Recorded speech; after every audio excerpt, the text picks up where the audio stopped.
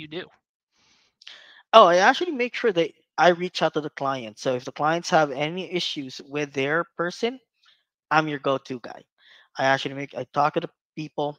I ask them, you know, what went wrong, what happened, why did we, you know, why did we fall short of the expectations.